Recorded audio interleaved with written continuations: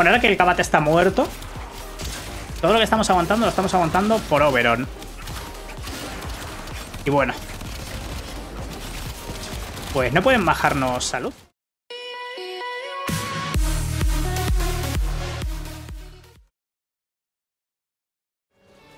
¿Qué tal tanque hasta...? Bueno. Bueno, bueno, está bien. Vale. Vale, vale, la, la está bien. Tanquea. Digamos que no me bajan nada de vida. Y está el Kabat muerto, o sea, está el, el Bulpafila muerto, por lo que el Bulpafila no me está curando. Es solamente, solamente me estoy curando y tanqueando a base de la, las habilidades que le... Bueno, la habilidad del Minto que le he puesto y... Y la propia habilidad de... Mm, de Veron, o sea que, oye, ni tan mal el cambio que le hemos hecho a la build. Ahora tanquea bastante más. Bueno, a ver, que aquí estamos para probar a Broveron. Así que probemos a Broveron. Recordemos, esto evita que nos tumbemos nosotros mismos con estas explosiones y evita también que los enemigos nos pongan estado, ¿vale? O sea, evita que, que nos apliquen estado, cortantes, yo que sé, lo que sea, toxina, calor, cualquier tipo de estado lo evitamos.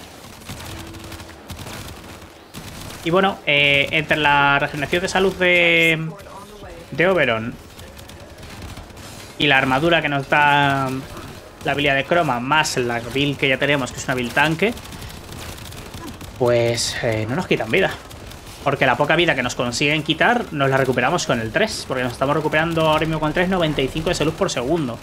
Ahora aquí nos podría... Bueno, más, más 477 de armadura, que nos da también la tercera habilidad junto, a, junto al 2.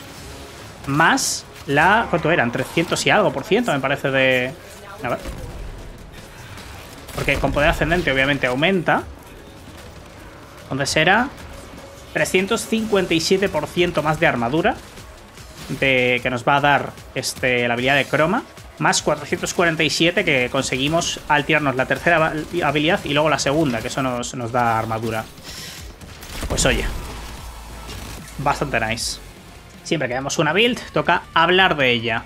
Es la misma build que, mm, que tengo en YouTube. O sea que la guía como tal sirve la que hay en YouTube, porque bueno, he subido, habéis subido unos dos o tres vídeos ya de Oberon, no sé cuántos. Son unos cuantos que he subido de, de Oberon ya. Entonces, como tal, la guía y el hablar de las habilidades ya hay vídeos en, el canal.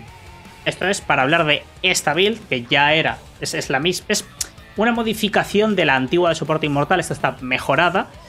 Eh, somos más tanques, curamos más y, y tenemos mucha más eh, resistencia en general. Entonces, a ver, ¿qué hemos quitado? La primera habilidad que para mí es inútil, entonces le he quitado el 1, nunca utilizo el 1, a quien le guste el 1, enhorabuena. Eh, aunque aquí ponga armadura, porque esto obviamente lo llevamos con color de energía eh, blanco para tener frío, tenemos la, mm, como, como podemos ver ahí, la armadura, en 319% más de armadura, eso es mentira, tenemos más porque hay que tener en cuenta que tenemos aquí poder ascendente, que nos está aumentando un 25% eh, la, fuerza de poder. Entonces, exactamente, esta build tendría... A ver, abro por aquí la build, ahí está. Tendría... Vale, voy a mostrarlo. No, este no. Este. Bueno, claro, no se va a ver porque estoy yo encima, un momento. Vale, sí. Esto que, esto que hay aquí, ¿veis? 357% más de armadura y 60% más de... Eh, perdón. No, y es que claro, aquí te lo ponen en otro orden. Ahí está, y 7,1% de, eh, del daño reflejado. O sea, ojito con esto, ¿eh? porque hacemos, hace daño incluso por quedarse quieto. Entonces esto nos va a aumentar, como hemos dicho, ¿cuánto era? Eh, 357% nuestra armadura base, sin mods. Recuerda, la armadura base es sin mods. En este caso no tenemos mods de armadura, así que lo que nos va a aumentar es el 225%, lo va a aumentar eh, un 300... ¿Cuánto había dicho? Se me ha olvidado ya, un 357%. Es mucho, lo multiplica por 3,5. Es bastante la armadura que conseguimos con esto. Esto nos va a dar eh, una regeneración de salud de 95 por segundo, como he visto antes. Recordad que aunque aquí ponga que recuperamos por, eh, por, segundo 85 de salud, no está activándose poder ascendente. Entonces, eh, con poder ascendente serían 95 de salud por segundo. Más luego, esto nos entregaría más armadura aún, que eran 477, si no me falla la memoria. Eh, que recordad que para activar la armadura que nos da esta habilidad, tenemos que activar el 3 y después ponernos encima del 2. Y con eso ya se nos activa la armadura para todo el rato. Y también recordemos que nuestra segunda habilidad lo que nos está dando es esa inmunidad al, a, estados en general. Quien dice estado dice derribos, el autoderribo infligido por armas eh, de área también. O sea, no, vamos a no vamos a movernos, vamos a ser una maldita columna que es imposible de, mover. Curación y armadura. Armadura, evitamos estados y derribos. ¿Qué más podemos pedir? Pues control. Esto no lo vamos a usar más allá de eh, situaciones en las que digamos, uff, nos están empezando a bajar la vida, vamos a tirar esto para controlar a todos los enemigos que hay en el área. Si estamos todo el rato con esto, no vamos a necesitarlo porque esto es como la tercera habilidad de Nix. Esto lo que hace es confundir a los enemigos porque le mete radiación y todos los enemigos empiezan a atacar entre ellos. También nos van a atacar a nosotros, obviamente, como con la habilidad de Nix. Pero, oye, pues es un control extra que no está mal, como esto lo vamos a tener siempre para reducir ese, ese daño, perdón, ese, estado, pues aparte vamos a tener un control sobre los enemigos. Y si necesitamos más, pues tiraríamos el, el 4 que encima reduce un 63% de la armadura, que en realidad con sobrecarga, o sea, perdón, con poder ascendente activo, sería 71% de reducción de armadura. No está mal, está, bueno, de hecho está bastante bien, pero bueno. Poder ascendente, ya hemos hablado mucho de ello, 25% de, de, de, fuerza cada vez que infligimos estado. Si os dais cuenta, yo en este loadout voy con la Epitaph porque la utilizo para estado. Tiro el disparo este bueno, secundario, el disparo sin cargar, el de click, y eso hace una, una onda que mete 100% de estado, así que siempre se me va a activar sobrecarga de condición con eso. Luego, degradación poderosa para aumentar un 15% de la fuerza de, poder. El 30% de resistencia de arriba nos da igual porque ya tenemos el 2. Aquí un poquito de, duración que es lo único de duración que vamos a tener, pero es más que suficiente porque aquí no queremos duración que, ya nos dura de son 30 segundos. Y podemos spamearlo varias veces, o sea que tampoco hay mucho problema. Salud, Podríamos haber puesto el de vitalidad umbral, pero requiere formas umbrales la build y ya no, primero no tengo formas umbrales y no las necesita. Podríamos tener más fuerza, más curación, más... Sí, pero realmente funciona increíblemente bien. Así no es como Sarin, por ejemplo, que quiere hacer una build, pero necesito forma umbral y no puedo todavía porque no tengo, así que de momento está pausada. Vitalidad nos da salud, adrenalina al cazador cuando nos quitan salud, nos dan energía y al darnos energía nos recuperamos con el 3. O sea que al final es un bucle en el cual nunca nos vamos a quedar sin energía y nunca nos vamos a quedar sin salud. Porque aunque nos quitasen mucho, que no lo van a hacer por esto, pues podríamos tirar esto para controlar el área. O sea que bueno. Adaptación, más resistencia aún, 90% de reducción al daño. Intensificación para tener eh, un poquito más de fuerza de poder junto a derivación poderosa. Y rabia ciega, que lo tenemos a la mitad. ¿Por qué? Porque entra perfectamente este. Entra sin problema, pero Estamos hablando de un 45% de eficiencia, no un 70%. Sí, ganamos mucha más fuerza. Esto aumentaría mucho más la, curación, que si os dais cuenta aquí pone 103 por segundo, y habría que aplicarle por ascendente. Sin embargo, así es con poder ascendente sería 95 por segundo. Pero eh, vamos, a, vamos, a, tener mucha más eficiencia, entonces si no hay enemigos pegándonos, vamos a poder tener eh, más tiempo esta, esta habilidad porque nos está quitando por segundo 1,68. Así nos estaría quitando 2. Es una diferencia de medio, de, bueno, de, de 0,40 de energía por segundo. Entonces, a ver, ¿interesa no interesa? Depende. Depende de, de, muchos factores, depende de cuántos enemigos tenemos alrededor. Entonces, si vamos a ir a camino a cero, podemos dejarla así porque nos vamos a curar más y siempre vamos a tener la energía al máximo. Pero si vamos a ir, vamos a usar esta build para todo, dejadla así porque ya nos vamos a curar mucho, vamos a tener mucha armadura por otro vamos a tener más, pero nos, nos cuesta más energía. Y luego flujo prime para tener siempre pues, una piscinita grande de energía que sería de 744. Guardián arcano, más armadura, si lo tenéis al máximo sería, cuando recibimos daño, 15% de probabilidad de 900 de armadura, y ahora mismo lo tengo en 600. Eh, Así que bueno. Y energizar arcano F, porque lo tengo a nivel 1 solo pero al máximo, pues eh, al recoger energía, 60% de probabilidad de reponer 150 de energía aliados en un radio de 15 metros, 15 segundos de tipo de recarga. Esto está más OP antes, pero bueno, a ver, era demasiado OP porque te recargaba todo. Esto es un poco, nos da igual, porque ya vamos a recuperar mucha energía con la adrenalina del cazador. Aquí podríais poner cualquier cosa. De hecho, incluso podríais poner anulador arcano, que no hace falta porque tenemos nuestra segunda habilidad, pero por si acaso lo podríamos poner en caso de que pasemos por, alguna trampa que nos quite la energía y no hayamos puesto el 2. Podríamos poner muchas cosas. Aceleración arcana para, el tema de, de, de, cadencia. También velocidad arcana, más cadencia, ataque arcano. Aquí está, más cadencia para, bueno, más cadencia, más velocidad de ataque en este caso, ¿no? Para las melee esto ya es gustos. Aquí ya podéis poner lo que queráis. Yo he puesto energizar porque yo no está mal. Por si en algún apuro me, estoy quedando mucho sin energía. Y me puedo recuperar bastante de energía de golpe. Aunque bueno, a nivel 1 poco puedo hacer. Así que quizás sería buena opción hasta tenerlo más eh, subido. Poner velocidad arcana o incluso eh, ataque arcano sería lo más lógico. Porque voy bastante a melee últimamente. Así que oye. Pues esta, esta sería la, la build de soporte inmortal.